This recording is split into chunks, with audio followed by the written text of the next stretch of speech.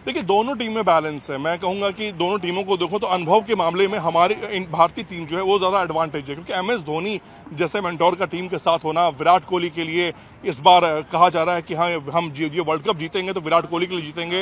याद होगा 2011 आपको हर कोई कहता था कि सचिन के लिए वर्ल्ड कप जीतना है। तो विराट कोहली का ये as a T twenty captain या आखिरी वर्ल्ड कप है। तो हर प्लेयर ये चाहता है कि विराट कोहली को गिफ्ट दिया जाए। एक शानदार बल्लेबाज है, एक शानदार खिलाड़ी है वो। तो इस खिलाड़ी के लिए बनता भी है। तो ये नारा है भारतीय दल का भारतीय टीम का एक मोटिवेशन ये मैं कहूँ कि एक वर्ड है कि हाँ इस बार हमें जो करना है विराट के लिए करना है। कि हिंदुस्तान ने पहली मैच भी जीती थी और लास्ट वाली मैच जो हुई थी वर्ल्ड कप में वो भी पाकिस्तान से जीती थी। और हर अच्छा, इस बार- इस बार- रिवाज कायम किया है हिंदुस्तान में वो आज भी कायम रखेगा। इस बार हम तमाम अपने इंडियन भाइयों को ये बात कहना चाहते हैं भाई मैच हारना जीतना तो मुकद्दर की बात है जो अच्छा खेलेगा वही जीतेगा।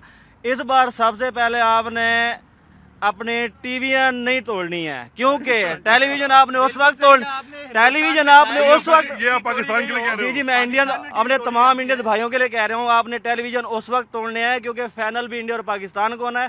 जब फाइनल हार जाए तब तोड़ने हैं। तो मतलब आप ये कह रहे हो कि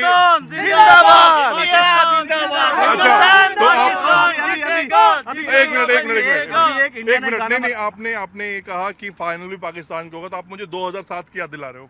2007 की आप 2017 में चला जाए 2007 में चला जाए 2017 में चला जाए कितनी टीवी अच्छा दिल तो जहाँ पे रह गए टेलीविज़न कितने तोड़े गए थे वहाँ पर? पाकिस्तान?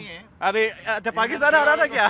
जब से 50 अवार्ड्स का या 2020 का वर्ल्ड कप शुरू हुआ है जब भी हिंदुस्तान और पाकिस्तान आमने सामने आए हिंदुस्तान ने जीत अपनी दर्ज कराई है।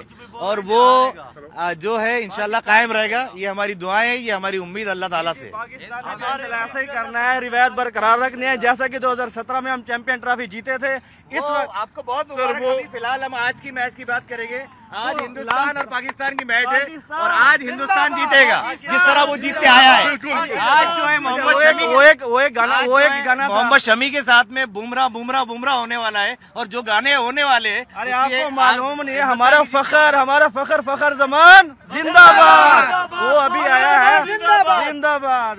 तो इसके लिए इन्होंने गाना बनाया था एक मौका मौका के ऊपर।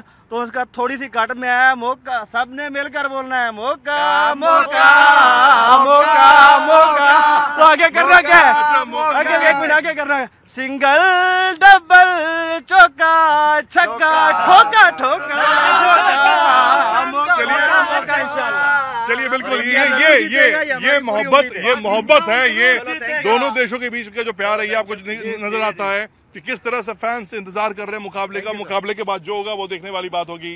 दुबई से कैमरा पर्सन पंकज तोमर के साथ अमृतानंद न्यूज़ एटीन इंडिया